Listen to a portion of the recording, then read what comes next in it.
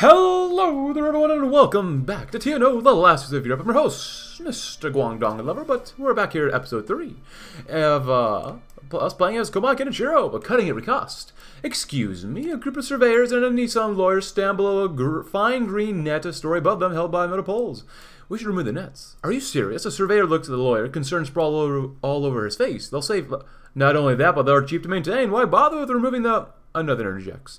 Listen, gentlemen, I ever after me, I would not remove these nets. I'm only following orders from above. Murder, murmurs of disagreement are heard from some of the group as they cross their arms. What possible reasons are there to remove them? Silence, and the lawyer speaks once more. It's legal and any unnecessary cost, such as the maintenance of these nets, he points above himself, must be removed. The surveyors blink for a moment, and what about the workers who will die from this decision, one asks. Eh, replaceable. The lawyer immediately answers, his voice monotone, we're not having a shortage of labor. The surveyor opens and closes his mouth. Nothing would be done if this argument continued. By the evening, nothing separated air and hard earth. Very nice. Uh, we could also introduce curfew. Or blood-soaked metal. We want more growth. The opulence and magnificence of the pearls of Guangdong are defined by the steel foundries of industry. Industry serves as the essential component of the economy and livelihood of the state. An attempt to hinder the industry is akin to seditious behavior against one's administration. Hitachi has been a proud and withstanding embodiment of the power and profits of a productive and substantial industry. Our managers focus and focused, our workforce diligent, our assembly lines active and operating at any moment. Of course, as prudent and righteous overseers of the nation, we do not interfere, will not interfere with or block the everlasting strive for increased profits and progression. Our chief executive's intelligent approach to the management of one of Guangdong's fundamental institutions is undoubtedly a large contributor to its prosperity and success, allowing our earnest workforce to represent the prowess of Guangdong's influence, working assiduously day and night, the true heroes of manufacturing. A nation's prosperity is not granted, it is earned, for the tunnels of the mines and the conveyor belts of the factories are what brings prosperity to us. Absolutely. Better anti-tank, what's not to love? We can blow up enemy tanks even faster now. It is 1968, everybody. Hope you're having a great year. Uh, what are we going to research next? Trucks? Some of this. Uh, withered ba. Ching Sung walked along the Pearl River with a government lanyard hanging in his hand, one of hundreds to be recalled. By order of the new chief executive, widespread cuts were being made to the civil service, especially in the departments responsible for building standards and uh, inspections. Rural clerks, Sun included, were the first to go. Today was his last day, and Sun decided he was better off arriving late. He wanted to clear his head on the riverbank, so that he would walk into the office at peace. A soft breeze swayed the lanyard in his hand. He pulled it up, looking at the attached ID card. Was it even his? The face on the card, that was his, but that name? Yas, Yaus, uh, Yuasa Wataru? Who was he now but a jobless fool? Son laughed at the fool on the car. They all told me that being you would be easier than being me. They all said Wat Wataru had a better chance here than Son ever would. In anger and defiance, perhaps in stupidity, he threw the lanyard into the river like a live grenade. He landed with a dull thud and a little splash, and sank into the river. Wataru was gone now. There were only Chung, uh, son, a man with no income, no little savings, and a wife to whom he didn't know how to explain this. What would he do now? What use would Guangdong have for him? He was over 40, a clerical worker all his adult life, and he was Chinese. To the south rose the Three Pearls. His appreciating class was moving south, where Hitachi had plenty of good jobs, so did the Chinese. Of course, it was risky, and he knew it. The standards of those factories were poor, working conditions were worse. Hitachi would hire someone, there would be an industrial accident. A week later, they would hire someone new, and on and on the cycle went. Cheng's son was smart. He thought he could probably last more than a week. Cow did not work hard enough. No more corruption. The submission of order. Ooh, look at the stability. Ooh. But we already have something in the let go. Cattle did not work hard enough. The workers are the backbone of a thriving industrial force, of course. They comprise the numbers that push Guangdong towards an efficient and glorious future. It is of no doubt to us that in order for the nation to fully, prosper, fully truly prosper, the worker needs to be at optimal productivity. However, due to the massive calculations, lackluster management of our apathetic and utterly incompetent predecessors, the most diligent and assiduous workforce has largely been degraded to a mere shadow of what it used to be. It's unacceptable. Uh, it is our duty and responsibility to correct the mistakes and indiscretions of the past lingering in the present, and it is our duty and responsibility to add the attitude and priorities of the worker. Expectations will be heavily raised, and an industrial and production quotas alongside it. It must be made evident that their precious wages are earned, not granted. Working hours will increase as additional hours are added to the workday, as well as this implementation of compulsory unpaid overtime, in order to further assure the employers by heightening our requirements. It simply strengthens existing industrial structures of Guangdong, expunging all traces of excess and indolence. Um, I think I was one before. I might not have, but uh, if you want about breaking through, please go ahead. We have more than enough for this.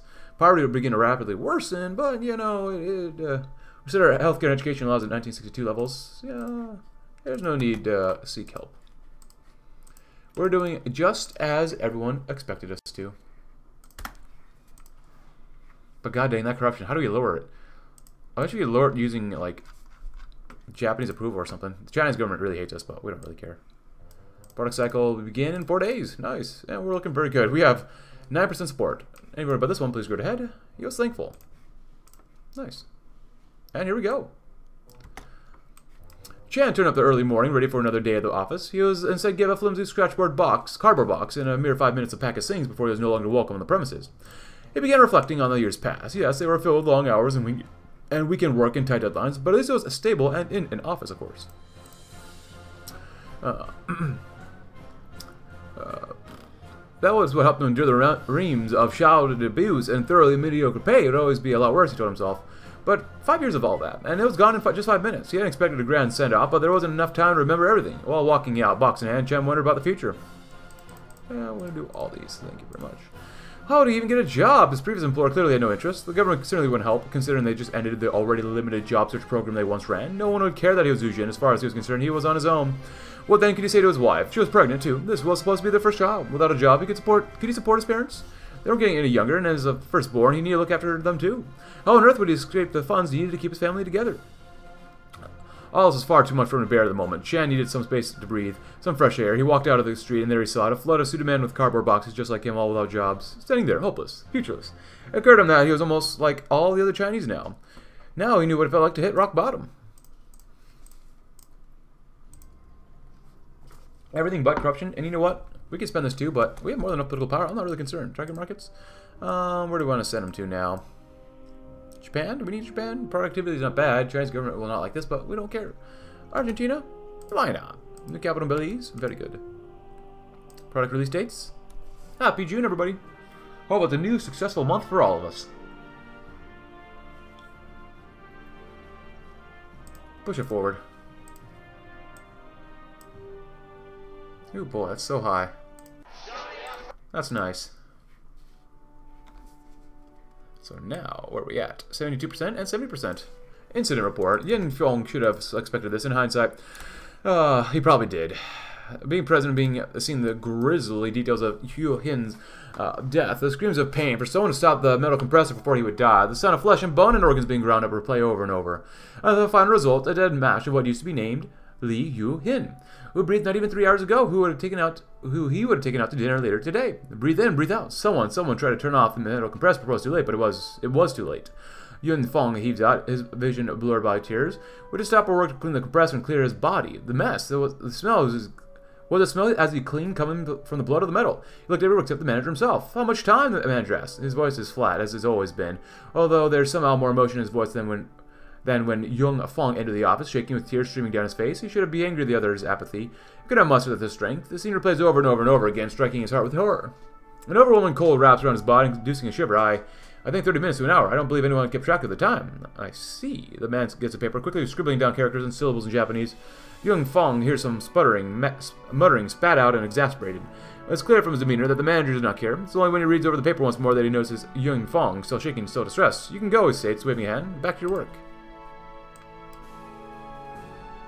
Ah, yes. Canada do not work hard enough.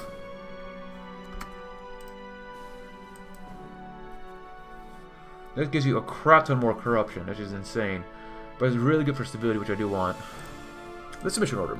Though the market may be an open place for experimentation and plentiful opportunities, the priorities of the benefits of the state and Guangdong must come first. Over the years, the once lucrative and wide markets of the three pros have been diluted and oversaturated by an influx of inexperienced and locally run businesses who uh, directly or indirectly compete with the existing monopolies of established corporations that comprise the foundation of Guangdong, our Hitachi being a prime example. The solution is evident. We do what is necessary to force the hands of smaller businesses to ensure harmony and prosperity on the economic stage. Certain companies who specialize in the markets where Hitachi and other large corporations hold notable sway or monopolies will either be directly annexed, divided, or willingly or unwillingly signed into contracts of cooperation cooperation. The fruits of profit will be distributed throughout the economy, but the weeds acting as hindrance to the harvest must be, of course, removed first. Alright, so where are we at? 72 and a half. There you go.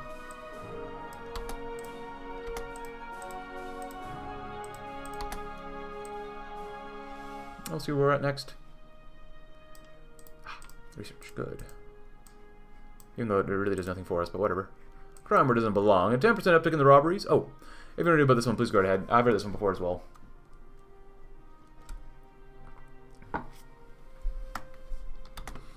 Have your fun. Approval. Yeah, have your fun. 95%. Beautiful.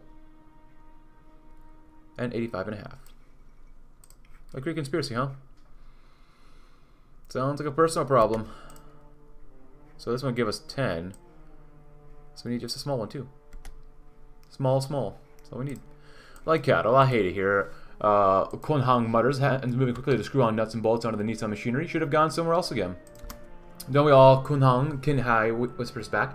As I was not straying from the conveyor belt. It could be a lot worse, you know. The other man replies, matter of factly. Uh, it can be a lot better. Yeah, things are only getting worse as we speak. They don't care about us or working. Uh, care about us working. A loud roar drowns out whatever Kun Hong was saying. He turns his head slightly towards Kin Hai. Did you know we're not getting insurance anymore for a split millisecond his hand slow? What? The barest of minimums is too much now. Some policy, huh? Nodding very slightly, unnoticeable to Kun Hong. Kin Hai's eyes return to the conveyor belt. Accidents too. We're not going to get compensation if that happens. If you or I lose fingers doing this, he points to the conveyor belt, still pushing the machinery towards them, we're screwed. We can afford new clothes as is. How are we going to get food or eat food if it happens? Uh, Kun Hong's voice seeps with poison, spitting out venomous words. Kin Hai wishes he could do something to calm him down. A hand on his shoulder. Hug. It cannot take a second to peel his eyes away from the conveyor belt, even as Kun Hong recounts countless stories of abuses that he's long been desensitized to, both there. A screw here. Periodically he nods, and every so often there's a new horror he wishes he didn't have to hear about that is spat out of Kun Hong's mouth. He holds his breath and lets it out. Kin Hai keeps on twisting the wrench, a bolt here, screw there. He wishes he was as brave as Kun Hong, be able to talk so openly and do his work at the same time. The clacking of those shoes alert them to the manager's presence, and Kun Hong quickly bows his head, silencing himself. A bolt here, screw there, over and over and over and over and over again. But, anyway, let's up them. And the punishments we take. Kempeitai officers. Uh, surround Verenum. Venerium. Yamauchi served on Takia's Love Hotel. You watch it all from the bar across the street, but you always want to keep the opulence inside. An unassuming shell, but his partners got too cocky, too cocky, too creative. Look where they were now, dragged out in chains, bruised and bloody. Next to him was a plainclothes, grim-faced Kempeitai officer who kept Yamauchi watching. He would start here, but soon the other hotels would suffer the same fate. Though no legal harm would ultimately befall Yamauchi, his punishment was to watch his most profitable enterprise systematically be ripped apart. Uh, Omura was dragged out half naked from the waist down, a few more teeth knocked out from that loud mouth, blood dripping down his drooping chin. Two days appreciate the humiliation. The Kempeitai pulled him out of a hotel and threw him in the back of a BAM, along with seven of his associates, three customers, and twelve women. Ooh. Police taped formed a cordon around the hotel's perimeter. By order of the Guangdong police force, the business was now shut down. See you tomorrow, said Yamauchi's miner, who left him to drink his sorrows into submission. He was certainly being watched, but why was he being spared? Yamauchi started putting together rumors in the inebriated mind of his. These level does serve some purpose to Hitachi. Perhaps Omura's family would run afoul of them. Perhaps Yamauchi still served a purpose to Hitachi.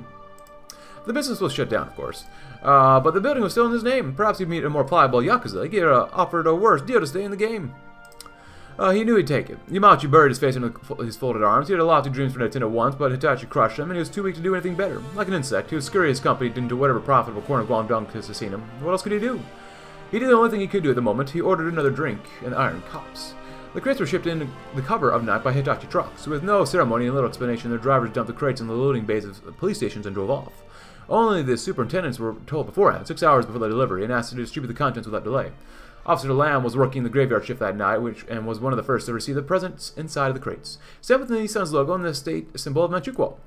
Given her beds of straw were hundreds of new pistols and batons, dozens of submachine guns and rifles for their tactical teams, and a bulletproof vest to outfit every patrol officer twice over, and a dozen other pieces of standard kit. The superintendent was present and mildly appreciative of the Nissan's contribution to the Guangdong police force. Part of the equipment was patchwork. Eleven attack 14 from the war, and the officer next to him had a Hanyang made a ruby pistol.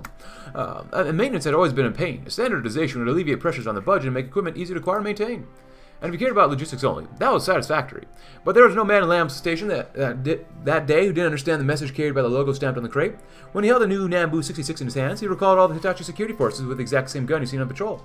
They're now all drawing the equipment from the same arsenal, and Lamb knew that people of Guangdong would notice that similarly. More than one officer walked away with the new guns, asking one question, why don't we just put the stupid Hitachi logo on our uniforms already? Price of profit. No, we can't quite do that one next. Um... Juju stuff. An invitation for the best. More corruption? Well, introduce a, introduce a curfew. No longer will curfew be a safe way out, conjured up by some spineless parasites within our security forces. From now on, it'll be the norm. The first uh, wall of a sacred fire to purify all our alleyways and boulevards. The serenity of the night is no place for scheming no good loiters, nor for sentimental civilians whining to our officers in a paltry want. And if they wish to prostitute themselves as pass upon our nation, what choice do we have but to sick the flames upon them and lead their smoldering corpses to oblivion? What else are we supposed to do? Pretty good. Yeah, how else are we supposed to remove corruption, man? I really don't know. I guess with Happy August, everybody, first. We'll get more approval anyways, but... Political power, we don't really need more. I don't, I don't mind doing both of these then. Get some more liquid reserves, I guess. You know?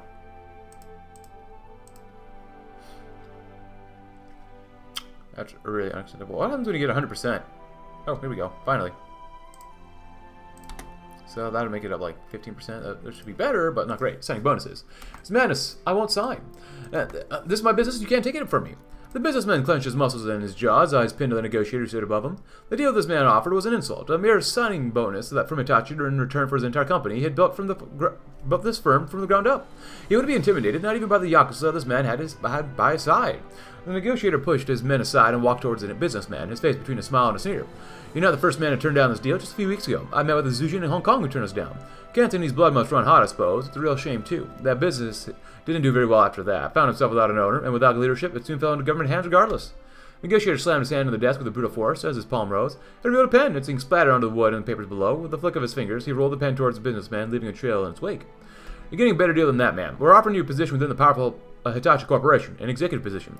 You won't find a better offer here, and you certainly won't find better in the home islands. You have two roads here, and I'm sure you can tell which the other path leads. Take the easy way out. More growth. Beautiful. More centralized? Not, not, not bad. We lost a lot of seats here, here earlier, too, because stupid stuff. By stupid stuff, I mean, like, the, the game just took away our seats. Which sucks. Look at that. 6% support. And point, we have one person, maybe. Maybe we have a single person supporting us. Who's Chinese. Ah, look at all that army XP we have. Holy crap. That's a lot of army XP. Ah. We're doing quite well. The mobilized television X-ray station. As governments of the co-prosperity sphere attempt to develop the rural areas, they repeatedly encounter endemic diseases ravaging the population. Chief among them being tuberculosis, which only becomes more of a problem as people shift from work, working isolated in fields to packed closer in factories. This has increased the demand for diagnostic and treatment tools, a demand that Hitachi tends to fill with a new mobile televised X-ray station.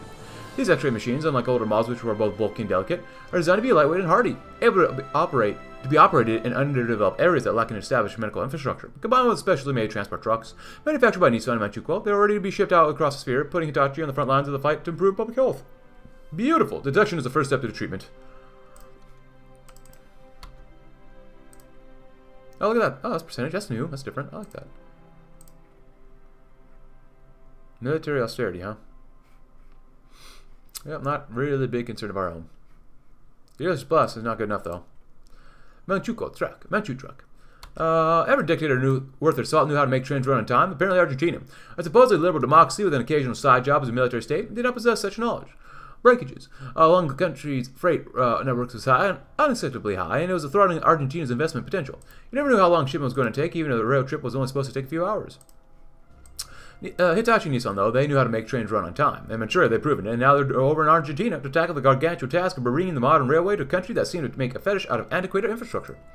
The vehicle was Hitachi Rail, a specially created subsidiary company. Hitachi Rail shipped engines from Guangdong and personnel from Manchuria, as well as masses of manual labors to change the country's rail gauge from the previous system based around the British Indian model.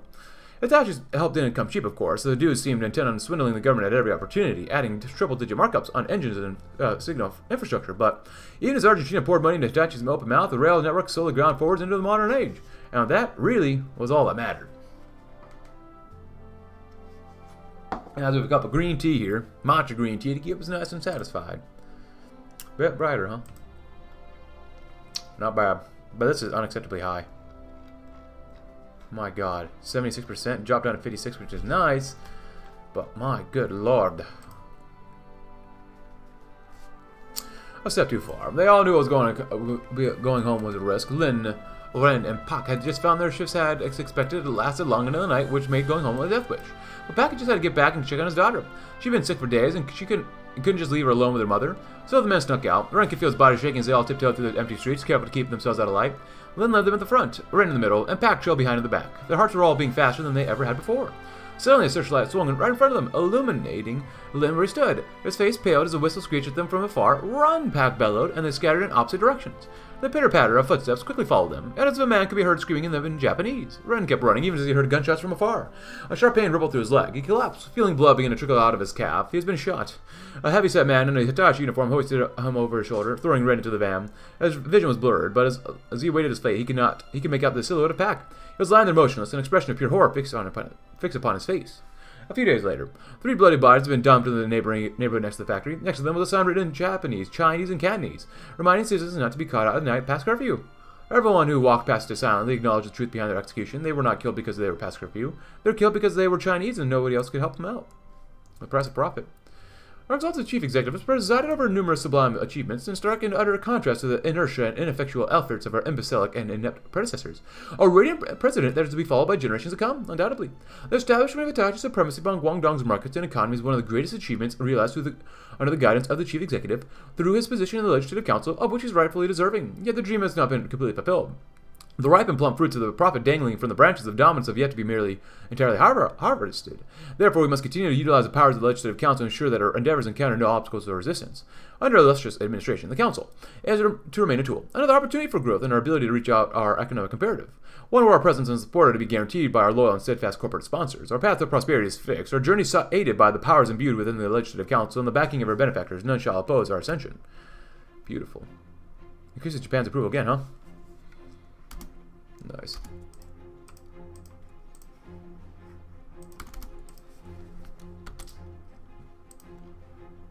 Might as well just keep burning it. Why not? Oh, we have just so little. We can't even do this one. So little approval. Wow. That happens.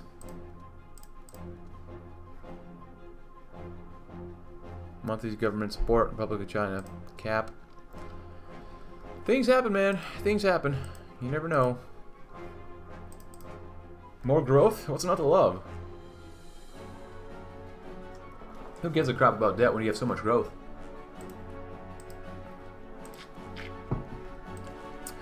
Whilst our auxiliary police units prowl the streets in search for scum to throw into the dark pits, locked away from the touch of the sunlight until they wither and die in cold, we are far from our desired goal in settling restless crowds. Therefore, it's in our best interest to invite experts in the realm of crushing dissent issuing formal requests and invitations uh, to Nissan representatives and agents in Manchukuo, offering them positions of authority over policing and state security. We welcome the very best in our ranks. May our ties to the company produce fruitful responses, and may the subduing of insurgent forces be found among them. Yes. Ah, the economy. Less than 4.4 billion in national debt, a life well stolen. Yoshiko went over to the draft again. Grammar was effective, vocabulary descriptive, arguments passable. Good enough for Hitachi, she thought to herself.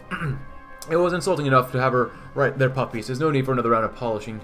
In truth, Yoshiko was horrified by Hitachi's newest proposal, the Economic Partnership Ordinance, the bill for which she was supposed to be singing praises. It was a direct attack on smaller firms in Guangdong, forcing them to join with larger firms. It was certainly no coincidence that Hitachi would likely be most aggressive with pursuing the newest legislation. Perhaps in the Kanton Fujin Koron wasn't safe. Previously, the government had protected it from any sort of forced buyout, but clearly Hitachi wasn't interested in following them through on that. Perhaps he'd be soon be working for them. Maybe she could go back to Japan. Yoshiko looked towards her office window, hanging on that idea. It almost felt reasonable, but no, she couldn't. Even the conditions were better, what was left for her there? She had built a life in Guangdong, her life, even if Hitachi was about to steal it, the great machine. Soon Guangdong shall work like clockwork, with Komai as clockmaker extraordinaire. The only friendship we need. Nissan shall provide men expertise to lubricate Guangdong's industry as never before. Friend from high places. We shall open the financial floodgates, and Manchukuo's money shall inundate Guangdong. Ooh. Well, we'll probably want this one next. Bloodstreak Sidewalks. Firearms the ultimate instrument. The spark to ignite Guangdong's fiery Nerva, Nirvana. And firearms, the Kenpai's warehouses and the Manchukuo steelworks will provide, assembled and gifted to us with the utmost care and camaraderie. Let our loyal officers, with the might of our firearm in hand, and with righteous fury in their hearts, set ablaze our defiled soil and expel the treacherous, cowering vermin from whatever filth they bury themselves in. The next time our chief executive sets his watchful gaze upon the jewel of the south, it shall have been baptized by blood, cleansed of the stench of rot forevermore. Power of uh, publicity. Hitachi's company board of directors were in the midst of debating the recent Economic Partnership and Reconciliation Ordinance. The majority believed that the ordinance would require some modification in order to secure enough votes to pass. Some members of the board believed such amendments were unnecessary and would either compromise the ordinance's effectiveness or jeopardize the ordinance's chance of passing. Aside from those who wished to leave the ordinance as it was, there have largely formed two groups within the debate. The first opinion believed that the ordinance simply didn't give Hitachi enough control over the aspects of the economy. They proposed that the ordinance need to be giving Hitachi more oversight over subsidiary and contractor factories and economic resources. It would likely be reviewed or viewed as a blatant power grab, but the potential benefits of such control could prove worthwhile beyond that. The second opinion believed that ordinance would stifle matter smaller companies too harshly in this current state. They believed it was necessary to throw those companies a bone and ensure that the ordinance would grant them sufficient work as contractors to Hitachi. Eventually, the debate reached an impasse, and the board referred to Komai to make a final decision. Should not be amended. Greater controls required for objectives. Allows Hitachi to press claims to expropriate useful property. Guarantees smaller companies more contract work. Favors the Zujin business owners of Guangdong. Greater control. Even more growth, less, uh, less Zujin support. Increase receipts by one. How is the economy doing? We're, how centralized, I mean, are we? 70s. Oh, two doors ahead. Komai pondered the Economic Partnership and Reconciliation Ordinance. It was still wasn't guaranteed to pass the Legislative Council.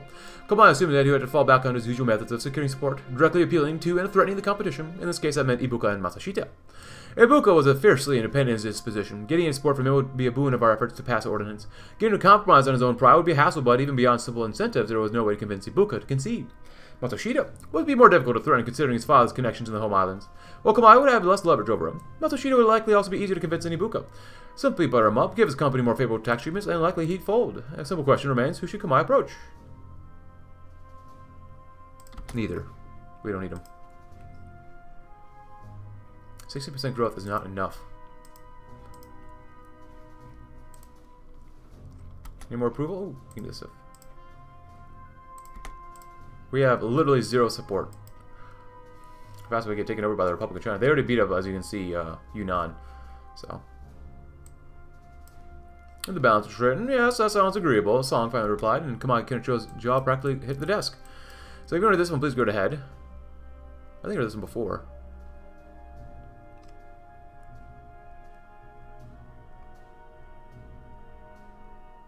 Backseat driving. Well, if you don't do this, please go ahead. That's fine, we can lower this too. The holdout. Wong had tried to handle the situation as delicately as po possibly could. A few days ago, a team of salespeople approached him with a proposal they said he can turn down. No, they tried to seduce him with all the petty, pretty words, regaling him with grand tales of how Hitachi would facilitate the smooth operation of his small business. It was a horrible deal. For one, the contract would force him to only serve Hitachi, no one else. And that wasn't bad enough. The service fee as a salesman had told him was a very substantial sum. Besides, he wasn't in the electronics business. What could Hitachi do to help his little corner shop anyway? This was practically extortion, and it was done in broad daylight too. There was one more pressing concern, the most important one. Hidden in the third annex of the contract was a clause giving Hitachi the right to intervene in the business for practically any reason. The salesman tried to convince him, in unconvincing Cantonese, that it was a mere safeguard, only used against unsavory individuals that might take advantage of Hitachi's trust and support. Wong knew it was complete total BS. It wasn't just a shakedown now, it was a pure power grab, and everyone knew it. So he did the most logical thing, which was to refuse to sign the contract, politely tell him off for lying and send him back to the headquarters. Evidently, that hadn't stopped them. The same salespeople were returning, but this time they weren't alone. They were guarded to their left and right by tall, stocky men who acted as security. Wong wondered they were right after all. This really was a deal he couldn't refuse. So, Mr. Wong, if you could just sign here, please. Nice. 19%. That's decent. Hey, 4 billion. Nice. Very nice. The Great Machine.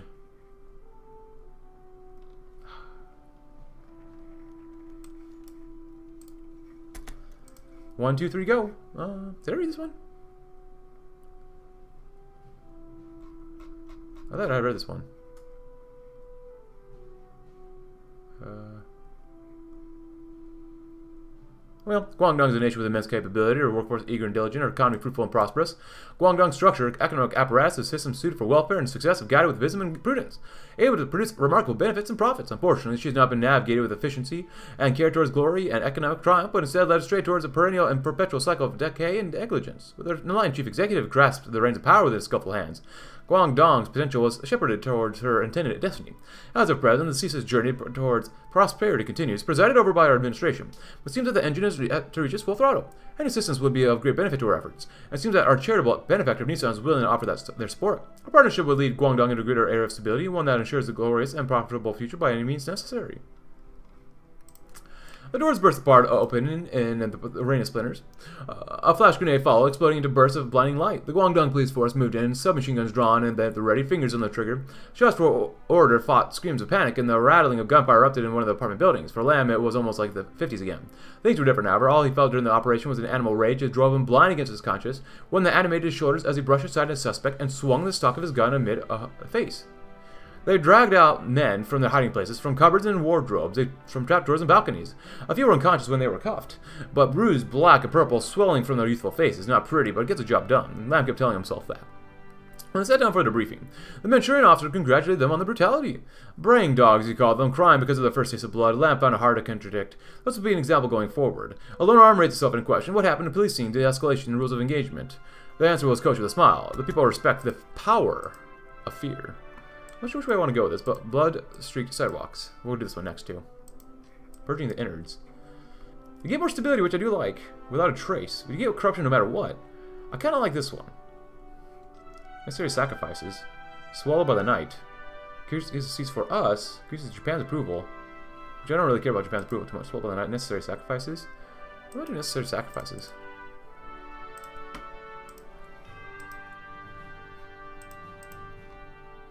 We don't need more political power. Can't do anything here either, so... Kind of stuck. We have 52 seats. What's not to love? Um, so, eventually we need... Slicing through red tape. If you're going to this one, please go ahead. Red tape. Ah, well, can't see it now anyways.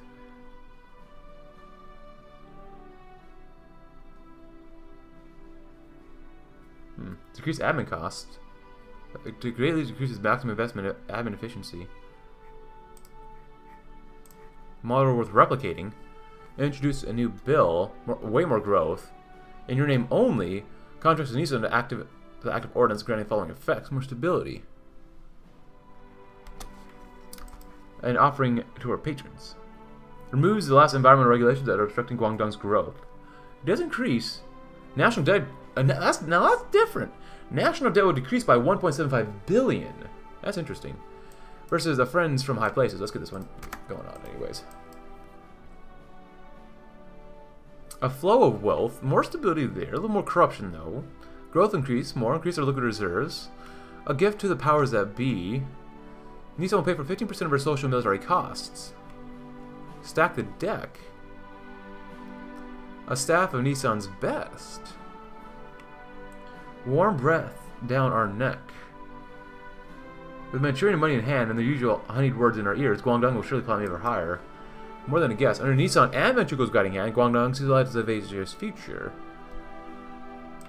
Hmm. So overall, you can get this way. Industrial expertise does go up, which is nice.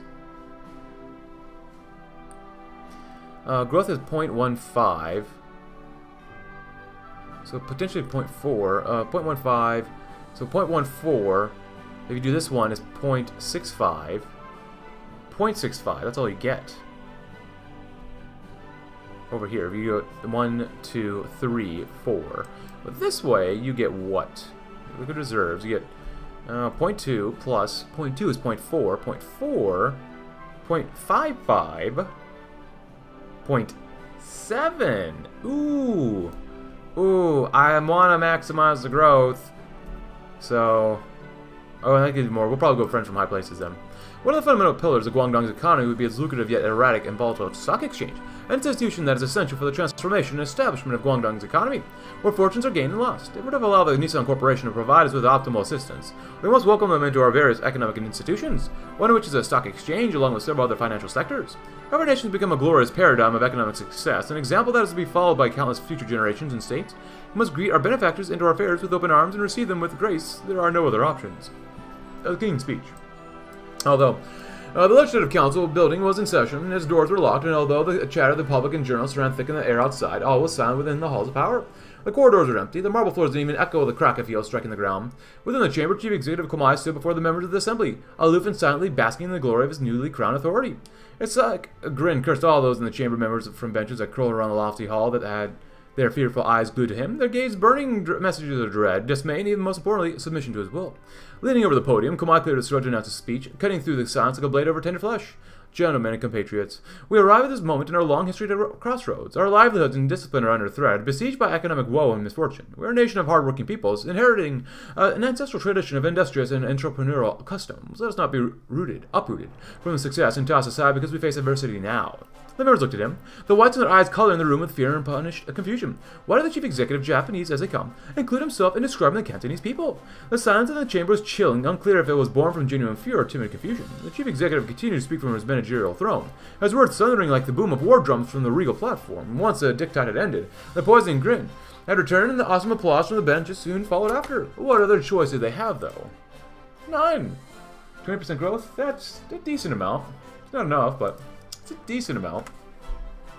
Ah, look at this. We are max, almost maxed out for centralization. Decentralization versus centralization. More output. Beautiful. Keep making those roads.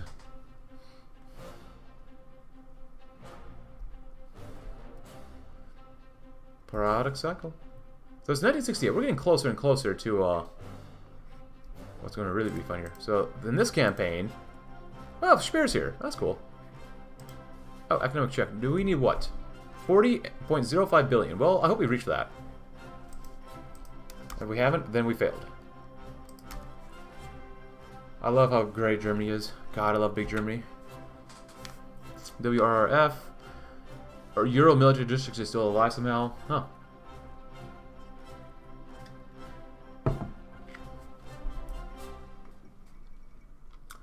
Boris third is gone. Oh wait, why is the Euro military district here? And they got down there. Cold War interface is still cool to, to have down there. Ah, crackdown on petty corruption. Well, we'll try our best.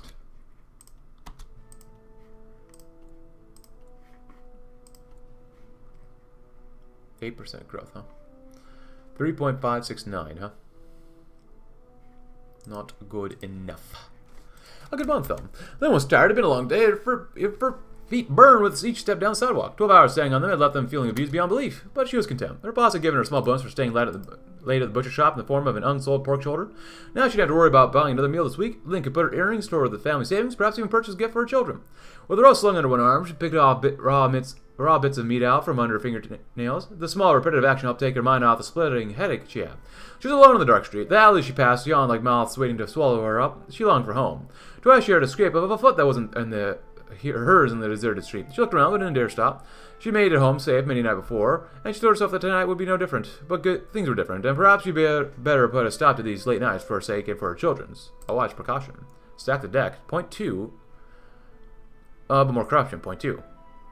Alright, our partners in Nissan bring with them necessary devices of development from the north, leaving a golden trail of wealth behind them as a result of their investments and attention. In order for us to effectively reap the benefits of Nissan's involvement, we must not shut off the gates of our economy.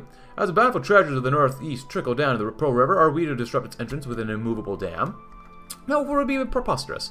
We must keep our gates open and our rivers unblocked as the profits brought on by Nissan will water our verdant meadows and ripen the fruits and products of industrialization and economic prosperity but bloody sidewalks. Lynn carried on through the city, ruminating on what she was going to cook tonight and what small gifts she could get from the market for her children. She only faintly noticed that she was beginning to walk through some of the poorest sections of the city, poorer than even she or her family were, in fact. Radical. Not that it mattered, all that mattered to Lynn was providing for her family, not falling into the depths that those poor souls had fallen to.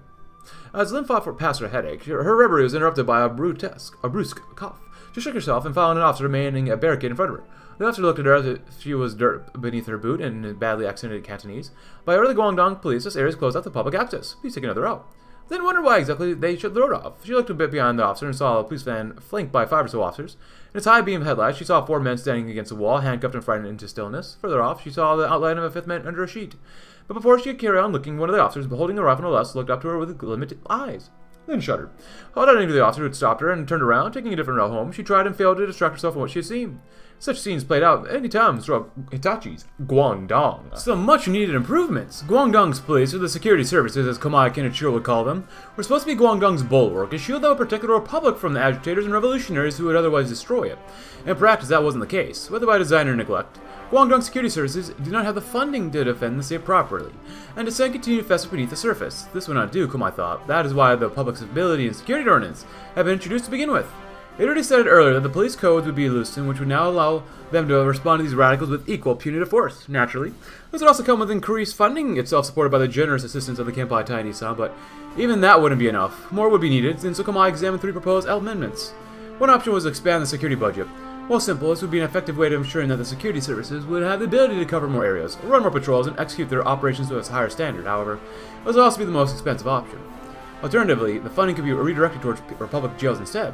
Guangdong's prisons were bursting to the brim, and being able to place more criminals in these jails would be a boon for the stability of the Republic. Finally, there was the option of expanding the public's anti-crime campaigns. If Guangdong's population never thought of dissenting, just waited for rebelling against the government, well, that would save the police significant time and energy that could be spent elsewhere. Komai gave these three options some thought. So expand the security budget, increase the budget granted for security forces, which will make them more efficient.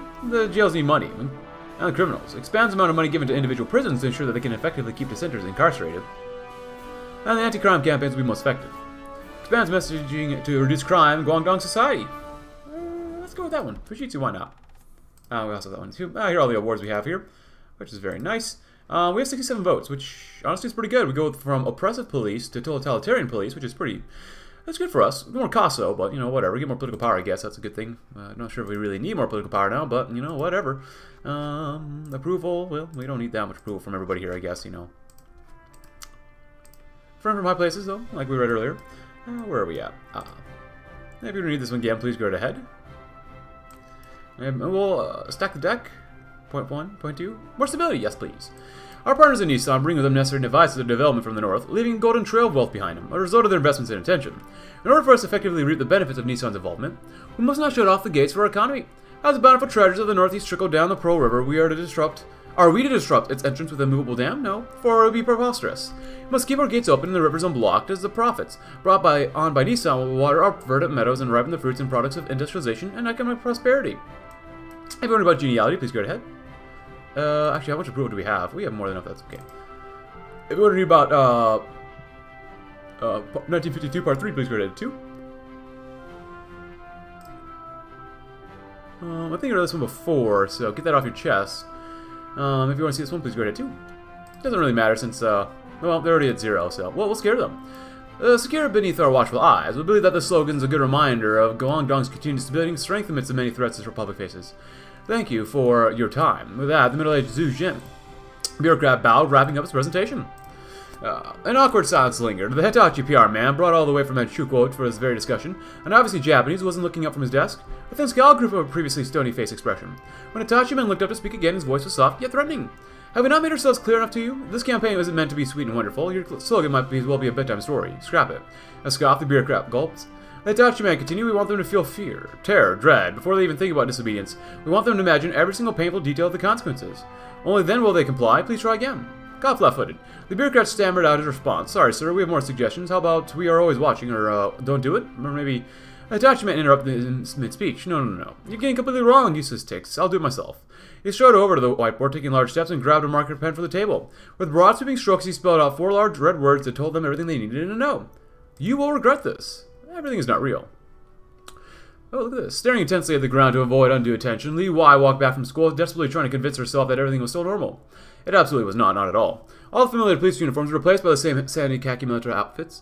The stern faces on patrol were gone, and their place was absolutely motionless surveys that swept through almost every street in the city.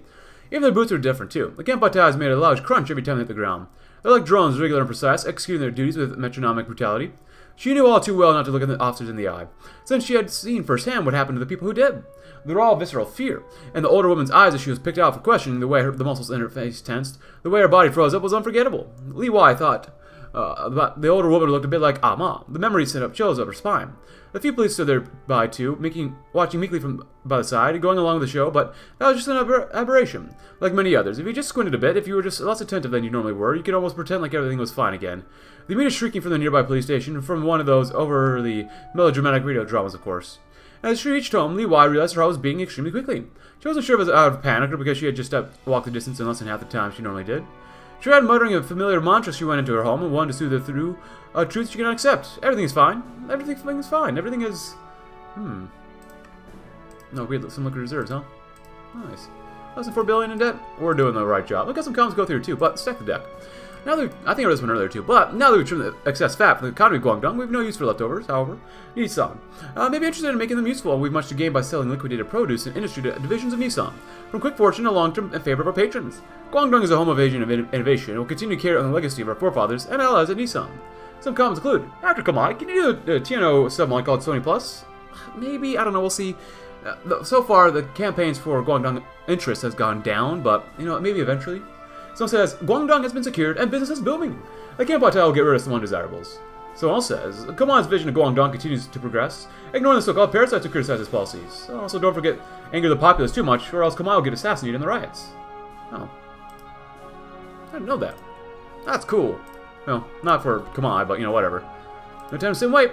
Hung dragged his feet to work, his head hanging low and his eyelids drooping lower. He was exhausted. The company kept demanding higher and faster results from brokers like him. He wrapped his finger around the icy door handle, swinging open the door and shuffling through the staff doorway, not paying much attention to anything other than his old cold sniffle and aching bones. After hanging up uh, his coat and studying his report, Hung wiped his glasses as he waddled to the trading floor. The bright lights dazed his numb pupils. His eyes twitched off a dry and itchy patch. Itchy, scratchy itch. There was something different about today, however. His attention slowly lifted from the stinging sting in his sinuses as he pieced together the environment around him. New life at Caesar Stock Exchange building as the mutter and chatter of the men hard at work bounced off the glassy marble floors. The yellow chandelier lights, aristocratic in some ways, glistened above, hung slowly noticed. New staff and formal attire empty cardboard boxes printed with a Hitachi logo on the trading desks, populating the workstations with new fancy equipment and communications tools that Hung had never seen before. His eyes widened, seized by the realization he wasn't quite sure what the chief executive meant by economic revolution when he heard it on the radio, but this must have been it. All senses arrested by the squeaking of expensive shoes on the marble trading floor, and by the chatter he tried to make out Japanese words from. Hung kept his head down and headed his expression. There was no use in showing his mind race in his heart thunder, but for if there anything he was certain about, there was no space for hesitation in Komai's Guangdong. Do not ask questions. Do not. Do we get at least 40 points? Yes, we did. Oh, there we go. Get back to work. Can we burn? Yes, we can burn just a little bit. Oh, do we have another one here? No, that sucks. Well, let's see how far we can get, because it's going to autocomplete anyway, so we'll be fine, even if we just let it expire. Don't think we'll get anything, but, you know, you never know. But like I said, I would like to continue reducing corruption if possible. That would probably be for the best. Uh, doesn't look like we're going to get anything else here. 96%, well, could be better, but whatever. Hey, better power efficiency? Sign us up. Sign us up.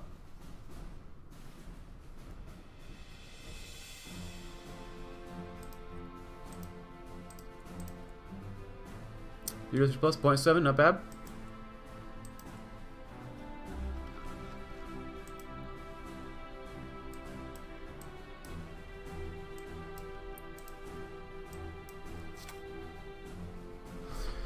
Stack the deck.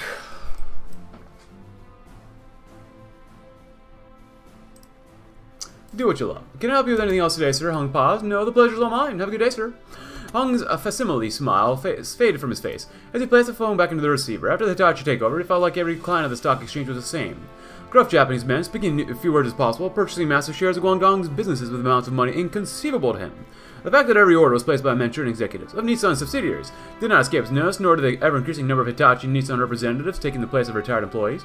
How quickly learned to spot uh, how to spot those who were about to replace. Those with complaints never lasted more than a day, and those with uh, eye bags rarely made it uh, farther than a week. Made it farther than a week. Any lost enthusiasm was typically coupled with a polite tap on the shoulder and a short visit to the manager's office. Maintaining acceptable appearance became Hung's first and most taxing priority. Cheap makeup uh, hid his worn-down features, and he practiced a perfect habit to help you smile in his mirror with each morning before work. He knew it would be enough. Sooner or later, the company was going to sack him, and he could only hope that his savings lasted long enough to find another job in the rapidly shrinking market. The harsh ringing of the phone jolted Hung out of his trance. He sat straight up, uh, aware that the delay would attract attention. Contorting his, contorting his face back into a pristine smile, he brought the receiver to his lips. This is the Koshu Stock Exchange. How can I assist you? Uh, staff of the Nissan's best. As we continue upon the endeavor of the inclusion of Nissan Corporation to our economic ap apparatus and affairs, we must account for all the fruits that may be bring to our nation and soon be a thriving economy. An asset possessed by Nissan we must not neglect or dismiss as a significant amount of talent present, present within our corporation. We must employ and make use of the skilled directors and executives of Nissan at our disposal. Appoint them to effective positions in our administration and corporate structure, sure, soon. Our bureaucracies are bound to be filled with exceptionally talented and experienced individuals destined to lead Guangdong to triumph and prosperity, a nation will be unparalleled in success except for the powerhouse of Manchukuo itself. Challengers. Oh, crap. You try to reduce corruption, and you really can't get anywhere with it. Sure, we'll get more liquid reserves, why not? At 6%. That's painful, man. Not bad, though. Not bad.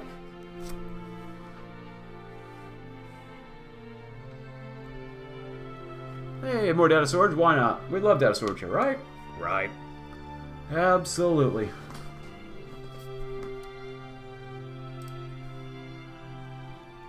Alright, come, come on. Like, bruh.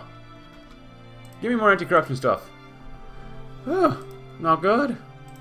Though this one, please go ahead too. And on it went rolling and rolling till the world was bleak and there was no escape. Stack the deck. New prospects. The downdraft from the helicopter rippled the rough fabric of Leong's suit and kicked up dust in his face. He clasped his hands over his belt, squeezing tight to work, tight to work out his nerves. A split second after Chopper touched down, the Nissan survey team poured out. Clipboards and notebooks in hand, they approached Leong, who had bowed respectfully, and offered his hand to each one of the team. Hope your flight was pleasant, Leong said as he shook his hands. The man from Nissan made some non-committal noises. Leong swallowed and waved towards the ramp leading to the quarry floor. If you follow me, I'll show you to the site. After they descended the walls of the quarry, a group of Chinese laborers stood aside and regarded the bes uh, besuited troop anxiously. Leong sympathized. Last month he'd been in their shoes, uncertain whether he would still have a job. Well, he did, but many of the men he passed pay, uh, faced pay cuts or unemployment with Nissan to officially took over. Leong couldn't look him in the eye. Under Nissan, the only thing a Chinese could do, a Chinese man could do, was work out for his own survival. Not an ideal situation, but warm breath down her neck. Our chief executive, as a man who embodies enlightened and prudent thinking, adaptable and knowledgeable, it's enacted several astute initiatives that have all benefited Guangdong exceptionally. The serenity of the pearl is being restored gradually with the passing of every decree and the announcement of every measure. A key decision made by chief executive that has proven to be extraordinarily fruitful and rewarding. A demonstration of his wisdom, which would be the continued partnership with our patron, the Nissan Corporation, a title they have rightfully earned. Nissan has supplies with bountiful support and assistance in both the forms of physical assets and mental tenants and advice, entangling Hitachi Nissan in an inseparable web of financial involvement and mutual benefit.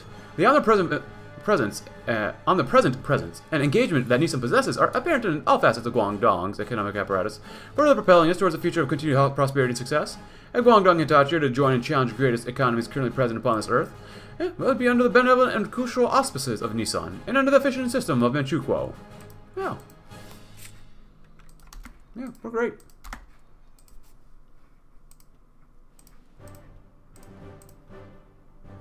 We get any more favors, maybe. Kinda doubt but it's already May.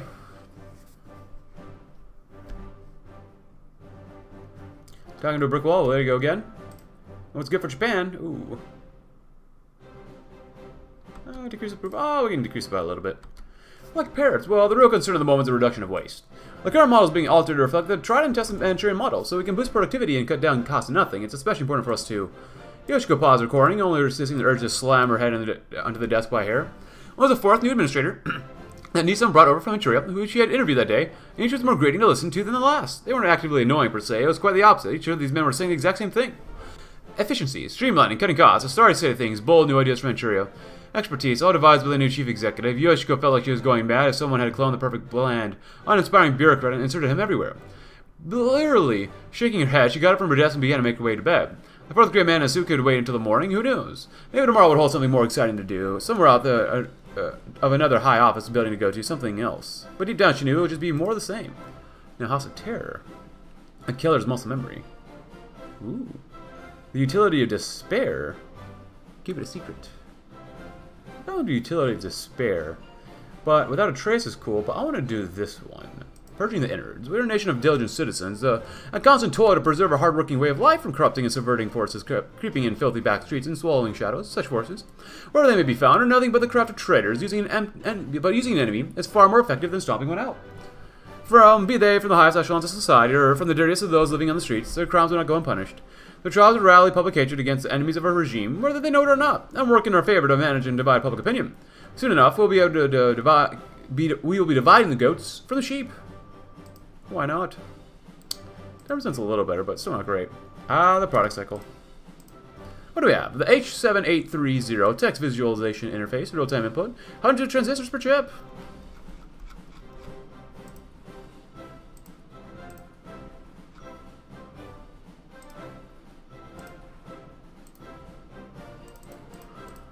Ah, sure, why not? And we got two, and that one, and that one, and that one, and that one, and that one. Already pissed them off so much, it doesn't really matter, right? But happy New June, everybody. New June.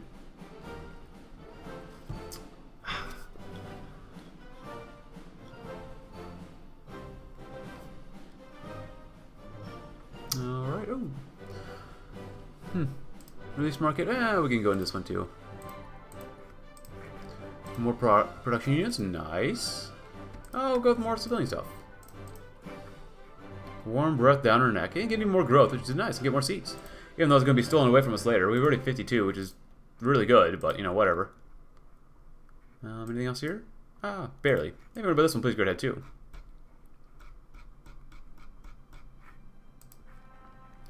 And now a word from our sponsor. As a normal day in Guangdong, the Japanese cheered and howled as they made and lost fortunes, and workers jumped from the sweatshops to be released from hell. Only to find that their demons had installed suicide prevention nets to Tanaka. it was a normal day in Koshu. It looked like it would be a normal day in the Legislative Council when he walked into the building, entering the room.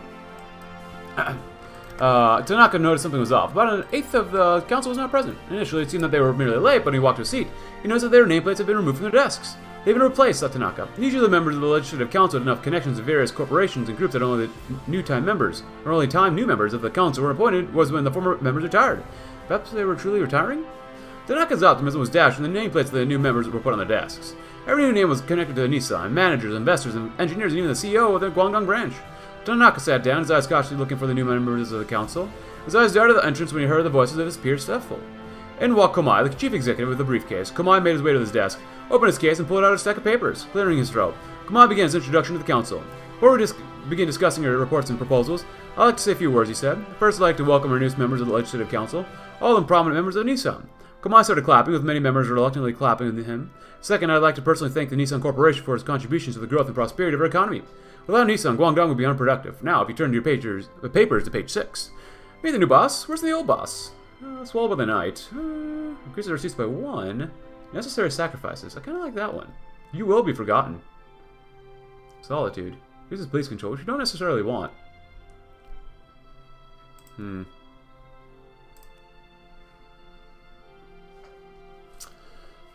Hmm.